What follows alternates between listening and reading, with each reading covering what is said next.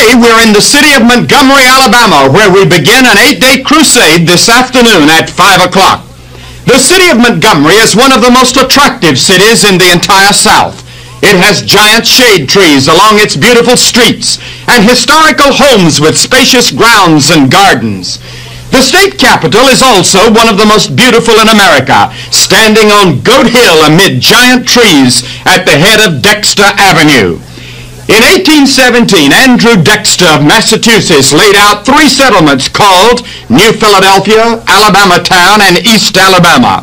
They were all consolidated in 1819 and called Montgomery in memory of General Richard Montgomery, one of the great heroes of the Revolutionary War. During the Civil War, Montgomery became the capital of the Confederate States of America. It was here that Jefferson Davis lived and directed the southern states during the Civil War a hundred years ago. Thus Montgomery is often called the cradle of the Confederacy. Even today, the Confederate flag flies proudly above the state capitol as a symbol of the heroic efforts of the southern states to secede from the American Union a century ago. I was born and reared in the southern part of the United States. After I entered the field of evangelism, my wife and I could have lived in any part of the country that we desired because most of my life would be traveling we chose to live in the South. During the past few years, the South has been undergoing a gigantic economic and social revolution. It is one of the most exciting places in the entire world. I agree with Walter Reuther, the president of the United Automobile Workers of America, when he recently said that the South is making faster progress than any other part of America. Standing here in Montgomery today, my own heart is stirred. My two grandfathers fought for the Confederacy. My grandfather on my mother's side was wounded at Gettysburg. He had his legs shot off and his eyes shot out, fighting for the cause of the Confederacy. Now, for me, a hundred years later, to come to this historic capital of the Confederacy and preach the gospel of Jesus Christ is indeed a thrill. At a press conference yesterday, a newspaper man asked me, what will be the content of my message to the people of Montgomery? He asked this question in the light of the recent events here in this city that have made front page news around the world. When the Apostle Paul was asked that question hundreds of years ago, he said, I am determined to know nothing among you save Jesus Christ and Him crucified. Paul had an amazing confidence in the adequacy of the message he was commissioned to preach.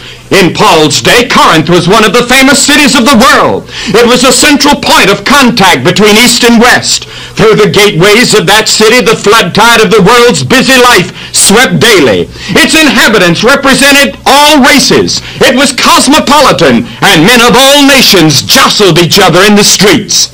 In Corinth, you could meet with the intellectuals discussing the latest problems of speculative philosophy. In Corinth, you could see temples and shrines erected to the gods, thronged with eager worshippers and ruled over by priests who were steeped in idolatry and superstition. Material luxury could be seen on every hand, side by side with evidences of sensuality, debauchery, and sex obsession. The sins of Corinth were similar to the sins of the Western world at this hour. In Corinth, sin vaunted itself openly and unashamedly. Philosophy walked hand in hand with vice, and the culture of the day was a companion of moral corruption. The word Corinthian in modern literature still connotes a fashionable type of immorality. It still denotes a man who has the outward appearance of a gentleman, but inwardly is morally corrupt. It was also a city of terrible social justice. One out of every five people that the Apostle Paul met in the streets was a slave. Many times the slave owners were cruel. Some were sadistic, torturing the slaves. As Paul looked at the moral debauchery on the one side and the social evil of slavery on the other, he must have been filled with righteous indignation. He wanted to scream against such evil and warn men of the judgment of God. Into the city of Corinth, the Apostle Paul had entered one day, dusty and travel-worn, friendless and unknown. He was the ambassador of Jesus Christ, and here was a stronghold of sin and paganism. How was he to gain the ear and win the hearts of its inhabitants? What power could subdue their pride, deliver them from bondage, and cleanse them from moral corruption, and change the social pattern of their lives? There were two methods that Paul could have used to attract attention and gain influence. The first was what Paul describes as excellency of speech. He could get up on a soapbox as a public orator and by the attractive persuasiveness of speech gather a number of followers because Paul was a great orator. He could proudly gain personal influence and even wealth for himself. This would have appealed to the intellectual Corinthians. He could win their admiration by the devices of language, weaving thought, feeling, and utterance into oratorical persuasiveness. The second method that Paul could have used would have been the cult of human wisdom, the attractive displays of philosophy and intellectualism. There was nothing that the Corinthians loved more than to discuss some new thing, the latest problem of thought, the most recent speculation about God and the world. Paul was well versed in philosophy, and he was well qualified to assume the office of a teacher. However, Paul had learned that the world by wisdom knew not God. He knew that philosophy was bankrupt without a moral dynamic and a redeeming power. Thus, Paul rejected both methods as inadequate to the purpose he had in mind of changing Corinth. Where could Paul find power adequate to cope with man's needs? Where could he find the power that could reach down to the region of motive, purpose, and intent and energize the will and permanently change the lives of people? When men are enmeshed in evil habit, the slaves of passion and self-will, the victims of idolatry and superstition, where is the power which can break their fetters, shatter the chains of bondage, and set them free? That was the supreme question for Paul, as it is the supreme question of our modern world. And Paul gave a dynamic answer. It is an amazing answer that is scoffed and laughed at by many modern intellectuals as it was by most intellectuals in Corinth 2,000 years ago. Paul said, For I am determined not to know anything among you save Jesus Christ and Him crucified. The source and secret of all regenerating power, of all spiritual dynamic, both for the individual and for society, is to be found in Christ and His cross and the fact that God has raised him from the dead. It is the cross and the resurrection that is the heart of the kerygma. It is the cross and the resurrection that the early apostles preached and turned their world upside down. It was this message that Paul determined to declare in the heart of pagan Corinth. Thus Paul began his work of proclaiming Jesus Christ in the midst of paganism. How did the Corinthians receive his gospel? To the Jews it became a stumbling block, and to the Greeks it was foolishness. Many laughed at his message as sheer folly. It was to them arrogant nonsense, and they rejected it with scorn. However, Paul kept on because he was convinced that it was God's will through the foolishness of preaching to save those that would believe. It was not long before hundreds and even thousands had been transformed by the power of the message that Paul preached. The church became so powerful that the city of Corinth itself became the gateway of Christianity in its westward march. Thus, in the center of complete corruption, in the stronghold of paganism, the word of the cross became the power of God unto salvation to every one that believed. It was this message of the cross that transformed John Newton from a dealer in slavery to the man who could write Amazing Grace that saved a wretch like me. It was the message of the cross that transformed Augustine from a sensual playboy to the mighty saint that the church today acclaims. It was the message of the cross that transformed my own life and changed me from a selfish, rebellious teenager into a man with purpose and meaning in his life. It is true that today we have far more knowledge about our world than was available to Paul 2,000 years ago. Yet in spite of all our advance in knowledge, the one great need of man is a knowledge of spiritual reality. Man's deepest needs are moral and spiritual and can only be met by the saving power of the cross of the Lord Jesus Christ. What our generation needs more than anything else is the preaching of that gospel, which is the power of God unto salvation to everyone that believeth.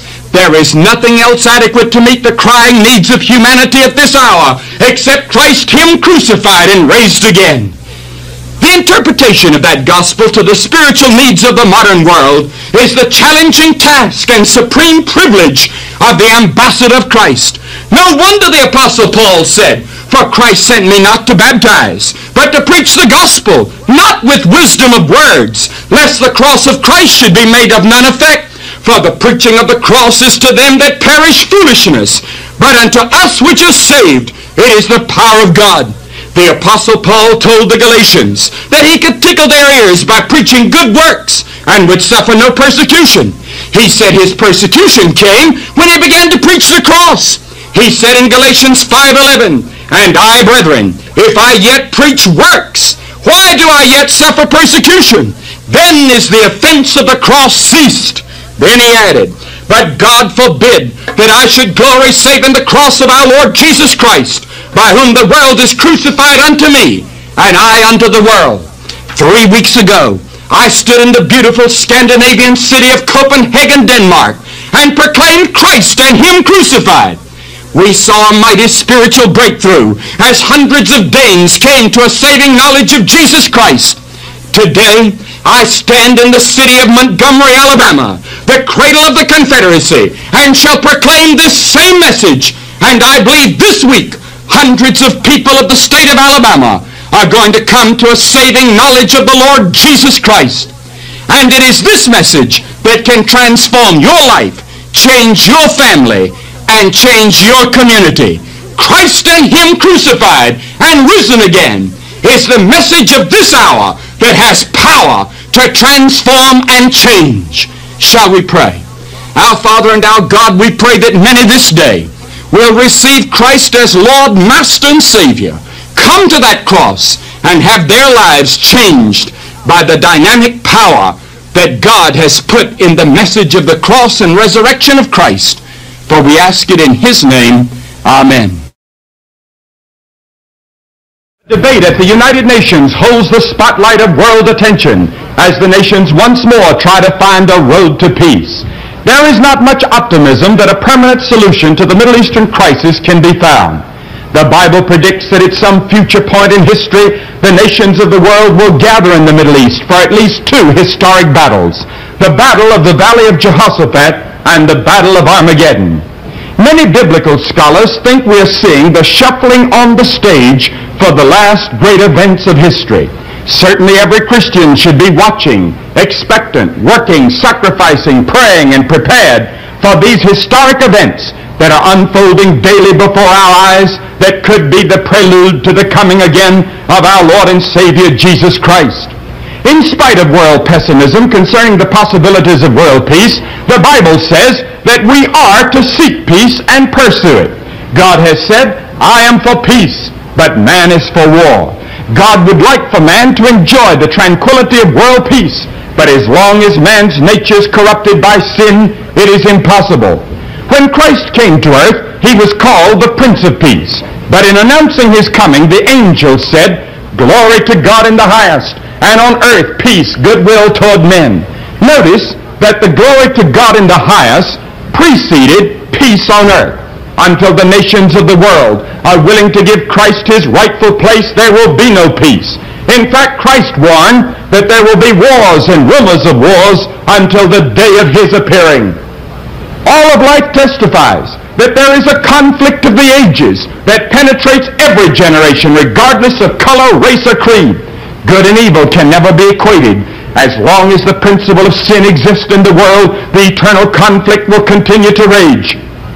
This world, with its contrasting and conflicting forces, is a gigantic battlefield of flashing swords and mortal combat. Lawlessness is in conflict with the lawful. The world of intrigue and dishonesty is in conflict with truth and honesty. The world of intolerance is at odds with tolerance and human understanding. The world of lust and pleasure is in conflict with propriety and purity. The world of godlessness is at odds with the world of godliness and righteousness. Disorder is at war with decency and order we must conclude that we live in a world of unending conflict. Little wonder then that Christ said, I am come not to send peace but a sword. He was saying in effect that the symbol of life is not an olive branch or a palm leaf but a sword. He did not gloss over the facts of life but face them realistically. He was saying to his disciples, this is war. Prepare yourselves for battle. True, his sword never dripped with blood. For when Peter wielded a sword of steel against Malchus, Jesus said, He that uses the sword shall perish with the sword. So the sword that Jesus places in the hands of his soldiers is not one that plunders, maims, and kills. It is the sword of the Spirit, which is the Word of God. But even though it is a weapon of spiritual dimensions, it pierces, divides asunder, subdues its foes, and lays waste the powers of darkness. Thus the whole world is a battlefield. Even the Christian who has taken Christ the Prince of Peace in his heart finds little rest from spiritual conflict. The Bible specifically mentions three enemies of the Christian, the world, the flesh, and the devil. They are combined to form a powerful foe to defeat and frustrate God's plan and purpose in the lives of men. The world is Satan's ground force, making its attack on the horizontal level. The flesh is the subversive force, working from within to sap us of divine strength and effectiveness. The devil is the power and prince of the air and represents a diabolical air corps which bombards the Christian continually in an all-out effort to defeat our Christian offensive. These satanic forces are graphically described in Ephesians in these words, wherein in times past ye walked according to the course of this world, according to the prince of the power of the air, the spirit that now worketh in the children of disobedience. First, the Bible teaches the world is at war with the spiritually minded Christian. Worldliness is a mood, a tempo, and an attitude of soul which peers out horizontally upon life its head is never lifted upward in recognition to God. Its gaze is manward, never Godward. It is that materialistic, sensual view of life which centers its attention on the gratification of the lower appetites and desires, completely blind to the things of the Spirit. To this kind of world, God is not just denied, he is forgotten. The Christian is at odds and at war with this aspect of the world. It stoned the prophets, it burned the martyrs, it crucified Christ, and it still antagonizes people who dare to live apart from its philosophy and power. The Bible warns that we are to love not the world, neither the things that are of the world. The Bible again warns that friendship with the world is enmity with God. Thus the Christian finds himself in mortal daily conflict with the world round about him, and he is not to yield an inch. Secondly, the flesh is at war with the Christian. Spell the first four letters of the word flesh backwards and you have the word self. The word flesh is the biblical word for our old nature, the nature of sin. The Apostle Peter, who knew a great deal about the struggle with the flesh, said, Dearly beloved, I beseech you as strangers and pilgrims, abstain from fleshly lust which war against the soul. The flesh is the enemy within, the spiritual fifth columnist. Our old nature, even though it has been subdued to a degree by the Spirit of God which dwells in the Christian, cries for self-expression. Thus the Christian finds that his greatest conflict is oftentimes with himself. In spite of the fact that you have come to Christ, the Bible teaches that the old nature with all of its corruption is still there, and that these evil temptations come from within. In other words, a traitor is living within. That wretched bent towards sin is ever present to drag you down. War has been declared. You now have two natures in conflict, and each one is striving for the victory. The Bible teaches the flesh lusteth against the spirit, and the spirit against the flesh. It is the battle of the self-life and the Christ life. The old nature cannot please God. It cannot be converted or even patched up. However, the scripture does give great hope in this conflict. When Christ died, he took you with him to the cross and the old nature can be made inoperative, and you can reckon yourselves dead indeed unto sin by faith, and victory can be obtained. Paul said he had no confidence in the flesh. On another occasion he said, I make no provision for the flesh. On another occasion he said, I keep my body under. We are to so completely yield and surrender ourselves to God that we can by faith reckon the old nature dead indeed unto sin. The third enemy that the Christian has is Satan. He is out to defeat the Christian. He well knows that the child of God is a dangerous enemy to his cause. He made every effort to tempt and defeat Christ. Today, he concentrates on Christ's followers. He is the commander-in-chief of the powers of evil, and his main attack is launched against those who have taken sides with Christ. He harasses, he accuses, he tempts, he devours, he deceives, he lies, he murders, he tempts. He works through his allies, the world and the flesh, to work havoc in the church, to hinder the progress of righteousness, to discourage and distress the Christians, and to weaken the Christian offensive. The Bible says, we wrestle not against flesh and blood, but against principalities and powers, against the rulers of the darkness of this world, against spiritual wickedness in high places. He is a powerful foe who is called the God of this world, the prince of this world, and the prince and the power of the air. While the scripture teaches that we are not to love the world, and we're to make no provision for the flesh, the scripture teaches we are to stand up and resist the devil and he will flee from us. We are not to give place to the devil. We are not to kowtow and run from him. But before that, God says, submit yourselves to God. If you have fully submitted yourself completely to Christ, then you can resist the devil. And the Bible promises he will flee from you. The devil will tremble when you pray. He will be defeated when you quote or read a passage of Scripture to him. These, then, are our three foes. The devil, the world, and the flesh. Our attitude toward them as Christians can be summed up in one word, renounce. There can be no bargaining, compromise, or hesitation. Absolute renunciation is the only possible course to a Christian seeking complete victory. In relation to the devil, we resist him only as we submit ourselves to God. In relation to the world, the Bible says, this is the victory that overcometh the world, even our faith. In relation to the flesh, the Bible says, walk in the Spirit, and ye shall not fulfill the lust of the flesh. Yes, there is glorious news to those of you that are fighting these battles and temptations. You're not asked to fight the battle alone. The Bible says in Romans 8:13 that you by the Spirit shall put to death the deeds of the body. Remember Christ promised that he would never leave us nor forsake us. Jesus promised after he left the earth he would send another, the third person of the Trinity, the Holy Spirit, who is called a comforter, which actually means one that helps alongside that he may abide with us forever. It is this Holy Spirit living within us that produces the peace of God in our hearts in the midst of the struggles of life. This is a peace the world cannot know. It is only known to the child of God. This peace that God gives is based upon our faith in Him. The Christian does not pretend to believe. He does not half believe. He does not believe today and doubt tomorrow. He believes. He believes that the hairs of our head are numbered and that not even a sparrow falls to the ground but that the Father knows. He believes that the universe is in keeping of infinite wisdom and infinite love.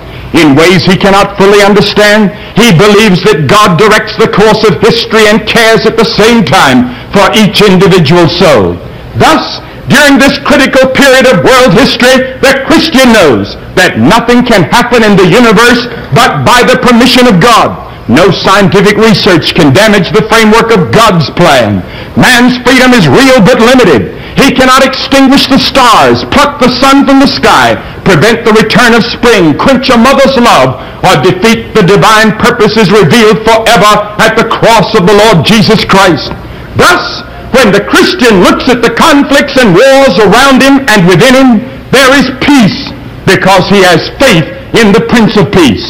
He is able to say, whate'er events betide, thy will they all perform.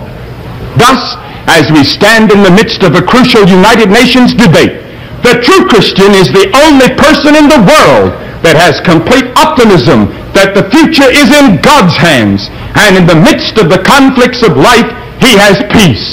Do you know today this peace that comes from God? First, there must be peace with God. You can make your peace with God today by surrendering your life to Jesus Christ as Savior. He died on the cross to purchase your peace. He shed his blood that you might have forgiveness of sin. But before you can have the peace of God and the peace from God, you must have peace with God. And you will only find peace with God at the foot of the cross. Therefore, I call upon you today to repent of your sins and receive Christ as your Lord and Savior. And you can have the peace that God has promised to all of those that are members of the body of His Son, the Lord Jesus Christ. President Johnson's sober address to the press last Wednesday has caused varied reactions throughout the world. There is no doubt that the vast majority of the American people support the president's policy of no further retreat in the face of naked communist aggression in the form of guerrilla warfare in Southeast Asia. Thus, our reckless Asian communism rushes headlong into the yawning abyss of war. Defiant, godless humanity has tasted the wrath mentioned in Jeremiah 25, and governments and people are reeling to and fro, mad because of the sword I will send among them, said the prophet. At this moment in China, there is a loose and ungovernable passion to kill, leading to mass murder and mass suicide and all kinds of atrocities. A group of psychiatrists meeting in Europe a few days ago issued a statement in which they said, there is in the world a mentality which entails grave dangers to mankind, leading to a war psychosis. These psychiatrists did not realize it, but they confirmed God's warnings of many centuries ago. God had said through Jeremiah the prophet, For thus saith the Lord, the God of Israel unto me, Take this cup of the wine of wrath at my hand, and cause all the nations to whom I send thee to drink it. And they shall drink, and reel to and fro, and be mad because of the sword that I will send among them. Then Jeremiah the prophet continued in his prophecy, Ye shall surely drink, for lo, I begin to work evil at the city which is called by my name. And should ye Gentile nations be utterly unpunished, ye shall not be unpunished, for I will call for a sword upon all the inhabitants of the earth, saith Jehovah of hosts. Has the world been given this drink? If so, the end is very near. The accumulated evidence of the universal insanity which manifests itself in a mad desire for war on the part of some nations is so vast that only a few of the outstanding items could be given at this hour. The newspapers are filled with talk of war throughout the world. A European prime minister said the other day, I feel that I'm living in a madhouse. Another European leader said, the world is becoming like a lunatic asylum run by lunatics. There is no doubt that dangerous economic conditions, in addition to the military, are fast becoming one of the major problems of the Western world. By autumn, the British will be faced with the tragic possibility of devaluation of the pound, and this will have economic repercussions throughout the world. Many nations are on the border of financial collapse. For example, there is Colombia in South America, where almost a full-scale war is going on in the mountains between the government forces and the forces controlled by Castro. Colombia is on the verge of economic collapse in spite of its many natural resources. In fact, Colombia could be one of the richest nations in the world.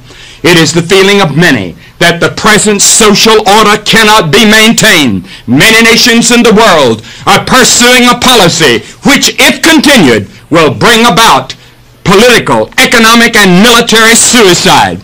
This policy must sooner or later bring great distress to all countries, and revolutionary conditions now prevail almost everywhere, even in the United States. War will be the inevitable consequence. War so disastrous that parts of the world will be reduced to chaos and ruin. This is no overdrawn picture. It is a true description of the situation as it exists today. The entire world is on the road to disaster without parallel in the history of the human race. In Matthew 16, there is recorded an incident in the life of Jesus Christ regarding the signs of the times. The scriptures say, the Pharisees also with the Sadducees came, and tempting desired him that he would show them a sign from heaven. He answered and said unto them, When it is evening, ye say that it will be fair weather, for the sky is red. And in the morning it will be foul weather today, for the sky is red and lowring. O ye hypocrites, ye can discern the face of the sky, but can ye not discern the signs of the times? A wicked and adulterous generation seeketh after a sign, and there shall no sign be given unto it, but the sign of the prophet Jonah. And he left them and departed. Jesus taught that just before his second coming, there would be signs to indicate that his coming was near. One of these signs would be universal war madness. I have just written a book entitled World Aflame. that will be in bookstores from coast to coast beginning September 6th. In this book, I have listed many of the signs that will precede the coming of Jesus Christ back to this earth again. Many scholars will laugh at this interpretation of the scriptures, yet there is a clear biblical precedent. As clear as the signs were in the days of our Lord's first coming, there were some who were utterly blind to their meaning. And there's a deadly parallel in our own day. We still have with us the religious and political leaders who cannot see the things they ought. They can trace the course of the stars in the heavens. They can send a mariner 6,000 miles from Mars. They can send a Gemini around the world for four days. They can even tell you many of the intricate secrets of the universe. But they cannot find the path of God in human history.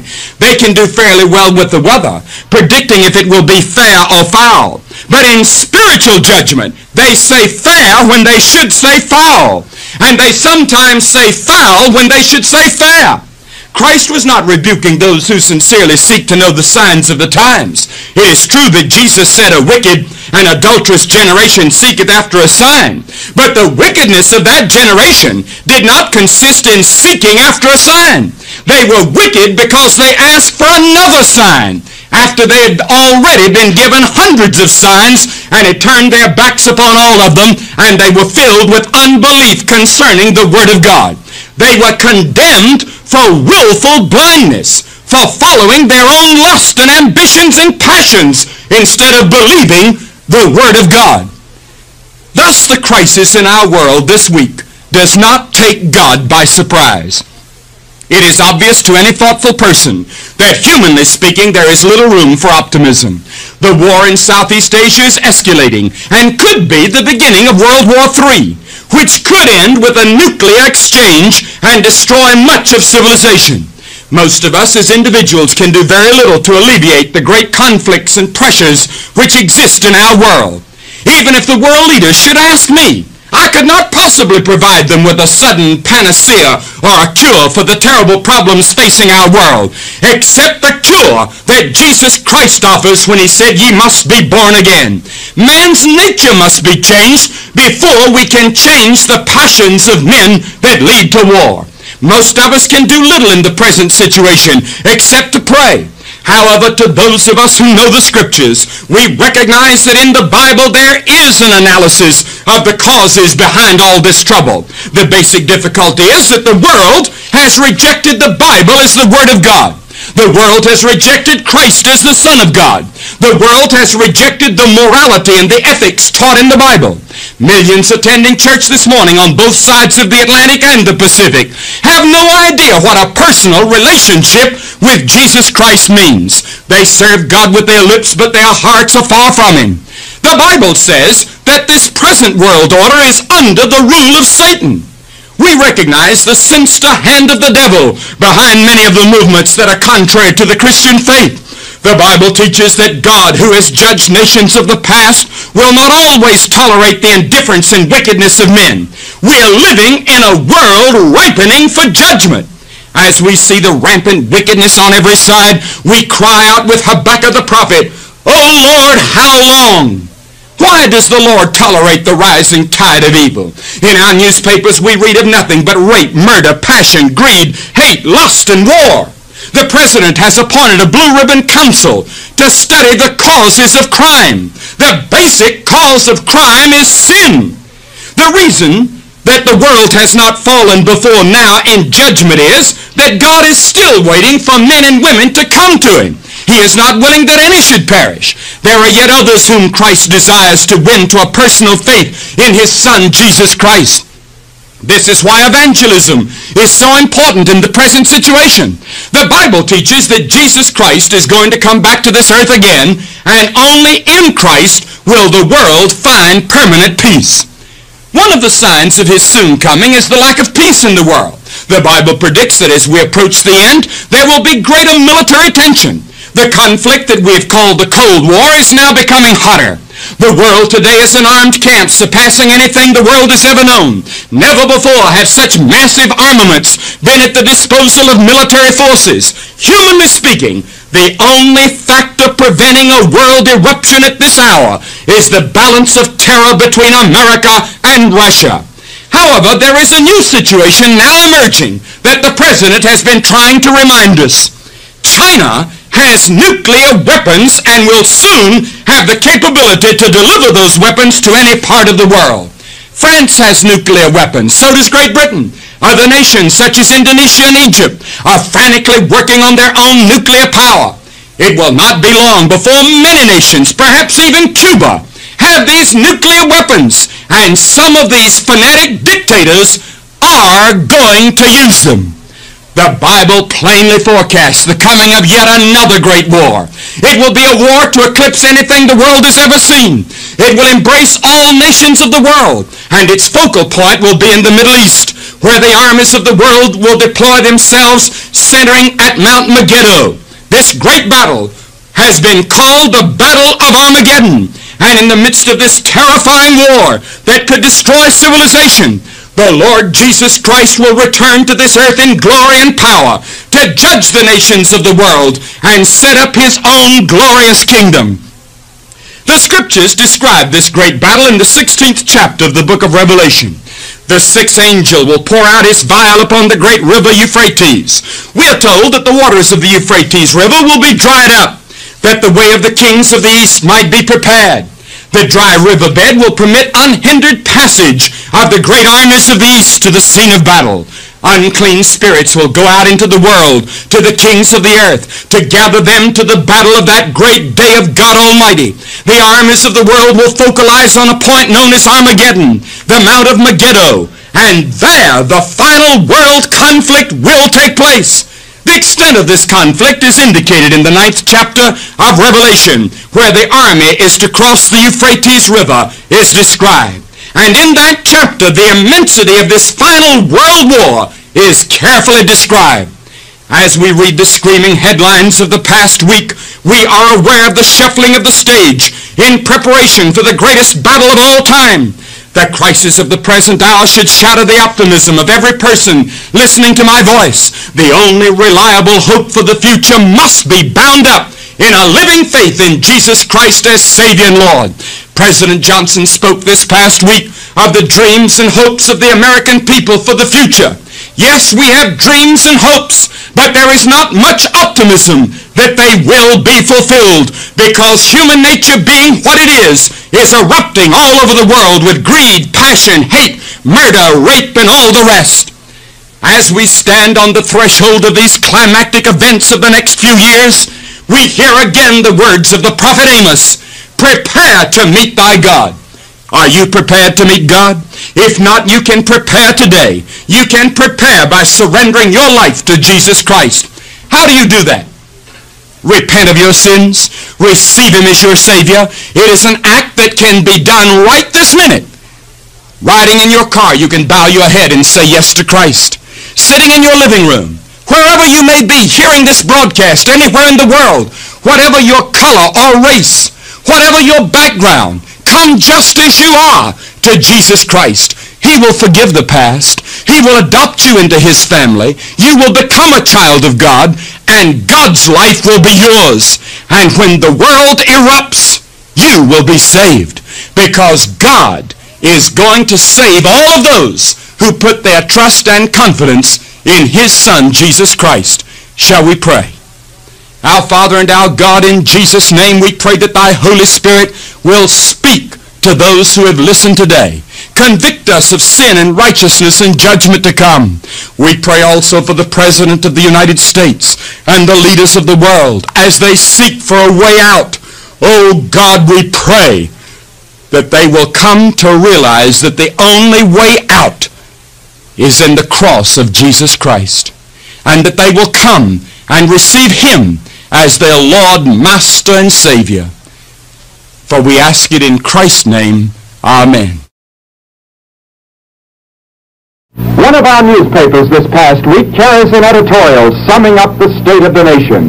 It says there is optimism on the one hand, but criticism, discontent, and fear on the other hand. Then it charges that little is being done by the average person to remedy the situation. I heard about a doctor the other day who criticized the government's failure to solve the problems in Africa. But when he was asked if he would be willing to go to Africa as a doctor in public health work, he scoffed at the idea. The average American wants a better world, a perfect society, and world peace without any genuine effort of personal sacrifice on his part. Why do you attend church was a question asked recently in a survey made in Ohio among rural families. According to the Rural Sociological Society which made this study, one-fourth of the churchgoers said they seldom miss church because they know the members. Others said it was the friendly atmosphere of the church. Others said they liked the fellowship. Or they went from a sense of duty or habit. Fewer than 20% mentioned the sermon as a reason for going, while 3% said it was the music and singing, and 2% admitted they attended to show off their clothes. Strangely enough, the members failed to give the basic reason why Christians should go to church, namely to worship God. Less than 1% said that they went to church to worship God. We have become like the Pharisees of old, religious on the outside, but selfish, lazy, worldly, and sinful on the inside. We have become religious addicts without any real substance to our faith. An addict is one who imbibes, partakes, or indulges in a sedative or stimulant for the purposes of obtaining momentary relief from reality. As boredom increases in America, the sale of alcohol and narcotics inevitably rises. The cocktail party has become almost a national institution. And as Elsa Maxwell, the noted party giver, is reported as saying recently, the cocktail party is strictly for people who are bored. But today I'm thinking of the type of addiction that we seldom think of. Just as some people take dope or alcohol in order to feel better momentarily, many people have turned to religion for momentary relief from tensions and pressures. There are thousands of people who are non-religious all week, and then on Sunday for one brief hour slip into a church or cathedral for a religious shot in the arm. It soon wears off because on Monday morning, our religious guise is taken off and we put it away until the next Sunday. Thousands get some sort of conscious relief by having discharged their religious duty and paid superficially their respects to God. For a few fleeting moments, they're saints. They have one hour of religious addiction. This is as far removed from the teachings of Christ as the East is from the West. There are millions of people who are members of the church and who attend with some regularity but it is nothing but religious pretense and addiction. Theirs is a blatant hypocrisy, even worse than that of the Pharisees of old. This type of hypocrisy has entered into every phase of American life. Many of our political leaders refuse to state their convictions in public. They say one thing in public, but their true convictions expressed in private are totally different. Christ dealt with this same problem 2,000 years ago. And in the 23rd chapter of Matthew, he scathingly denounced the Pharisees and the hypocrites. First, he deplored pretentious religion and indicated that it was nothing more than addiction. He said, Woe unto you scribes and Pharisees! For a pretense ye make long prayers. Therefore ye shall receive the greater damnation. Sincerity should be the hallmark of the Christian faith. It was born in the white heat of spiritual conflict and it will never be maintained by half-hearted, half-committed, halfway disciples. Paul's prayer for the church at Philippi was that they be sincere and without offense till the day of Christ. The Bible has no place for part-time Christianity. No Sunday one-hour addiction is tolerated in the Scriptures. For Scripture says that ye may be sincere without hypocrisy and without offense. The world has been offended and put off by our insincerity. The world has been misled by our insincerity and hypocrisy. This is one of the greatest stumbling blocks to evangelism in America today. Millions of Christians with religious pretense are building beautiful churches and institutions, but lacking in spiritual power, sacrifice, and dedication. With their lips they serve Christ, but their hearts are far from him. They pretend to be something they're not. This may be one of the reasons why the percentage of the American population that belongs to churches has declined during the past year, according to statistics in the 1963 yearbook of the American churches published by the National Council of Churches.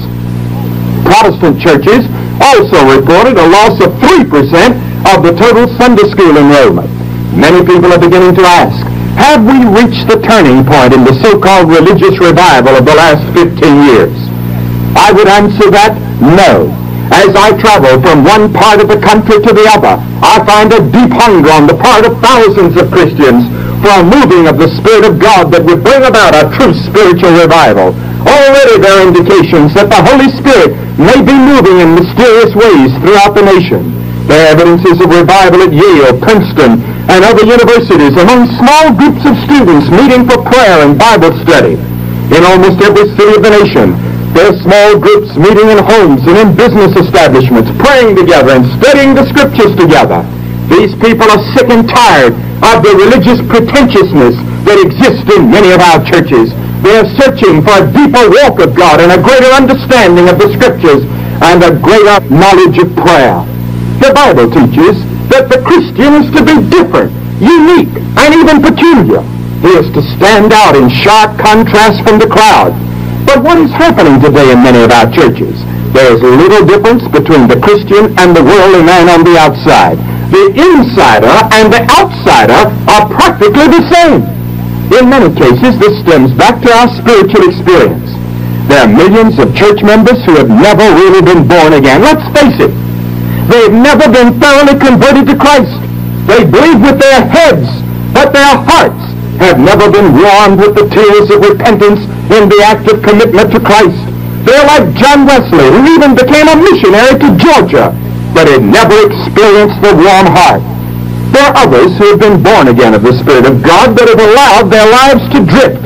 They've yielded to the temptations of Satan and lost their fellowship with God.